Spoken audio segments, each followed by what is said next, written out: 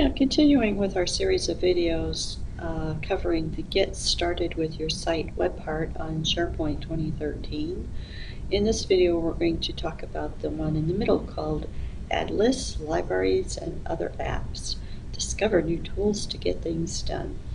So in our um, SharePoint 2013 out-of-the-box site, what I'm going to do is add an app from the SharePoint store. And when you click on that tile, it opens up a page called Your Apps. And over on the left is the link to the SharePoint store. Now, behind the scenes, your server admin needs to enable some uh, things, and we're going to have a video to cover what to do from the server side. But for an end user, once all of that server uh, configuration is completed and you have access to the SharePoint store, you'll be able to follow along with this video. Now, there are a number of free apps and paid for apps out in the SharePoint store. And uh, some are lists, some are libraries, some are just web parts. So I'm going to look for the one from Bamboo called World Clock and Weather. So I'll, up in the search box, I'll just enter Bamboo do a search and you can see we've got a few web parts out in the SharePoint store continuing to work on some more. But right now um, our freebie is the World Clock and Weather app and we've got the app for the quick add for lists and the calendar plus app. So let's go ahead and uh, tap into the World Clock and Weather. It's free. We're going to go ahead and add it. And this is a couple of questions that come up whenever you add an app from the SharePoint store, um, the, view the terms and conditions and the privacy statement, and you'll see that on most any app that you add from the SharePoint store. So go ahead and trust it, and it takes a minute to load up, and you'll see it's sort of grayed out while the app is installing and downloading to your site, but it only takes about a minute, and once it's complete, it will change from that bluey gray to uh, enabled. So now once the app is enabled, just go back to our home page and we're going to add the World Clock and Weather app to the home page.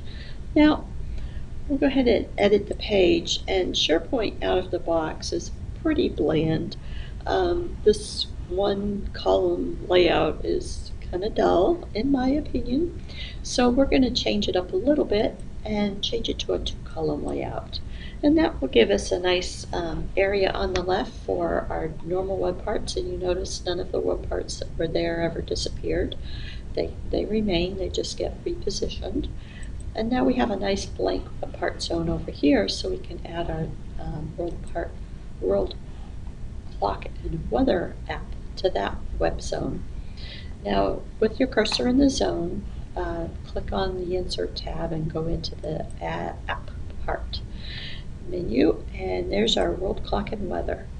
And that's our app by bamboo so go ahead and click add and that will add up the web part to your um, to your page. Now you notice my Windows security came up. That will come up um, sometimes sometimes it doesn't but most of the time it does just to um, validate that you are the person that has the trustworthiness of that app to, to add to your site. So notice that it comes in now. All right, so we can save that page. And now we can configure the web part. Typically when we add the web part to your site, it's using the Reston, Virginia uh, location for the weather because that's where our headquarters is for Bamboo Solutions, but we can go ahead and kill that and we'll search for another city.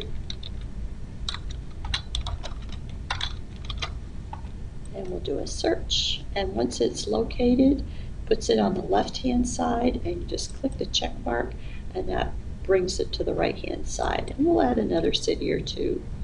Uh, how about Miami, Florida? There we go. And we'll do some Paris, France.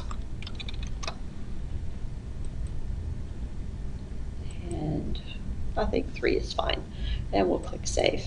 Now, this puts those locations right into the app, and it's got the, um, the name of the city, a preview of the weather, and you can change that. I didn't change it when I was in there, but you can change it to Fahrenheit or um, Celsius. And it also includes that, I clicked it so you can see what happens. That little arrow right here shows an extended forecast for that particular city for the next five days. So if you want to t- take a peek ahead at what's happening in that city's weather forecast, you have that ability right there. So looks like Miami is the best weather for the next few days here in, in 2015. So it also gives you the date and time listed at, at the bottom of the web part as well. So that's how to install an app from the App Store very quickly and easily using the link from this web part called Get Started with Your Site.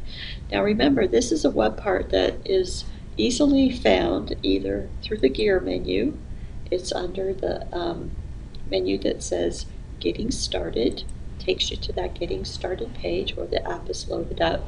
And of course, it, it's a web part, so um, if somebody inadvertently removes it from the home page, but you really do like having it there, you can go back and get it from, or you can use those tiles from that Getting Started page, or you can edit the page that you're on and put it right back because it is a web part. So I will put my cursor inside that web part zone and I'll do an insert. And this is a web part that um, you'll find under the media and content category. And once you get there, you'll see it's the second one in the list. Get started with your site, add it back to the page, and uh, there you go. So we've added the web part to um, the page. Now we want to shift it and just pick it up and move it up to the top of your page.